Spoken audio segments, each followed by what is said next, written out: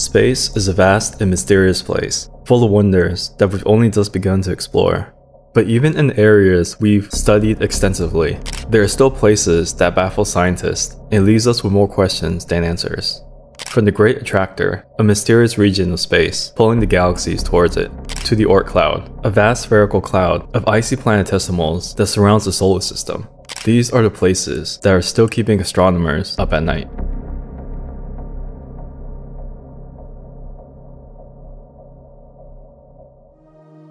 The Great Attractor The Great Attractor is a mysterious region of space that is pulling our galaxy and millions of others towards it at a speed of 630 kilometers per second or 391 miles per second. It's located in the constellation Norma, about 250 million light years away from Earth. The Great Attractor was first discovered in the 1970s by astronomers studying the motion of galaxies in the local supercluster, a group of galaxies that includes our own Milky Way galaxy. They noticed that many galaxies in the local supercluster were moving towards a common point, even though gravity should be causing them to spread apart. The exact nature of the Great Attractor is still unknown. It's thought to be a massive supercluster of galaxies, or even a void in space. Voids are vast regions of space that contains very few galaxies. The gravity of the surrounding galaxies pulls on the void, causing it to become increasingly empty. The void then acts like a giant vacuum, sucking in nearby galaxies. Another possibility is that the Great Attractor is a cosmic string, a one-dimensional defect in the fabric of space-time. Cosmic strings are thought to have formed in the early universe, and they can be very long and massive. The gravity of a cosmic string could be strong enough to attract galaxies from millions of light years away. So what do you think the Great Attractor is? Is it a massive supercluster of galaxies, a void in space, or an ancient cosmic string? Let me know your thoughts in the comments below. The Cosmic Microwave Background The Cosmic Microwave Background, or CMB for short, is the oldest light in the universe, dating back to the Big Bang it's a faint glow that is present in all directions of the sky, and it contains a wealth of information about the early universe. One of the most mysterious features of the CMB is a region known as the cold spot. The cold spot is a large area of the CMB that is significantly colder than the average temperature. The cold spot is approximately 0.15 degrees Celsius colder than the average CMB temperature of 2.725 degrees Celsius. The cold spot was first discovered in 2004 by the Wilkinson Microwave Anisotropy Probe, or WMAP for short.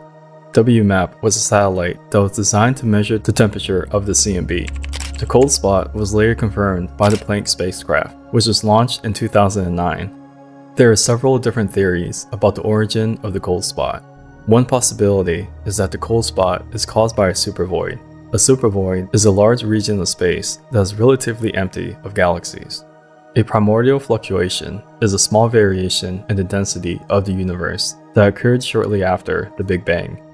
Primordial fluctuations are thought to be the seeds of all structures in the universe, including galaxies and clusters of galaxies. The CMB cold spot is a mystery that has not yet been solved. It's possible that cold spot is caused by a supervoid, a topological defect, or something else entirely. More research is needed to determine the true nature of the cold spot. The Galactic Center The Galactic Center is a mysterious place. It's obscured by dust and cloud, making it difficult to observe.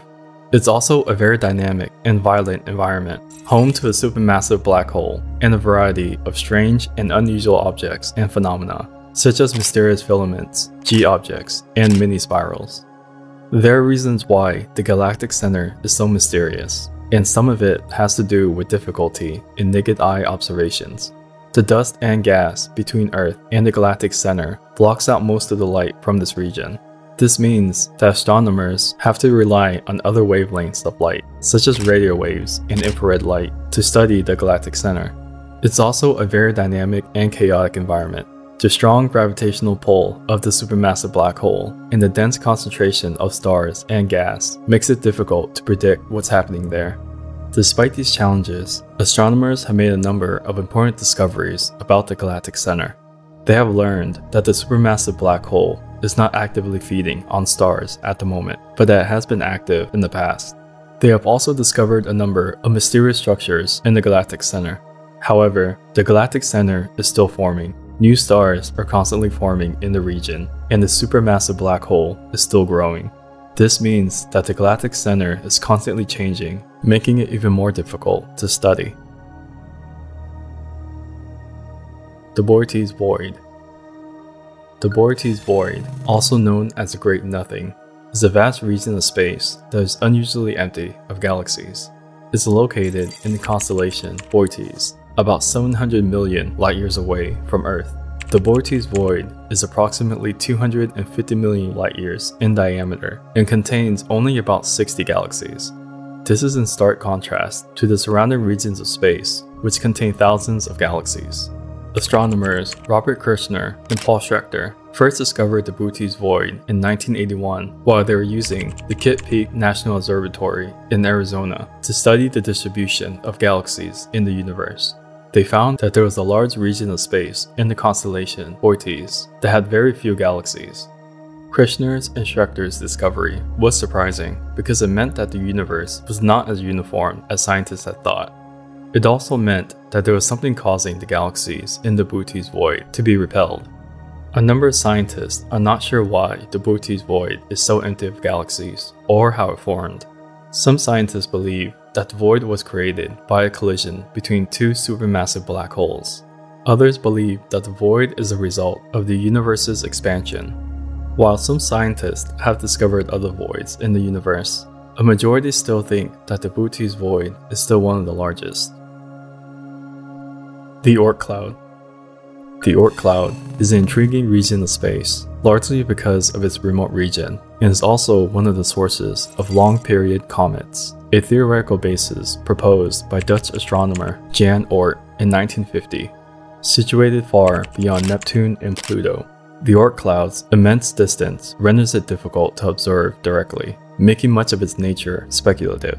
It's believed to consist of billions, possibly trillions, of icy objects, remnants from the early solar system, existing in a spherical shell around our solar system. The mystery of the Oort cloud is not just about what we know, but also about what we don't know. For instance, there is ongoing debate about the existence of a possible inner Oort cloud, also known as the Hills cloud, which could be denser and closer than the outer Oort cloud. Hills Cloud is a theorized cloud of minor planets and comets located between 3,000 and 20,000 astronomical units from the Sun. It's thought to be a reservoir of long-period comets with orbits of more than 200 years. The existence of such a structure could revolutionize our understanding of comet origins and solar system dynamics. The Oort cloud remains an enigmatic and largely unexplored region of space. Its study challenges our scientific capabilities and invites us to push the boundaries of exploration and understanding. As we develop more advanced technologies and embark on more ambitious space missions, Oort cloud may gradually yield its secrets, shedding light on the mysteries of our solar system's past and the dynamics of celestial objects at its fringe. We've explored five of the most mysterious places in space, but there are still many more mysteries out there waiting to be discovered.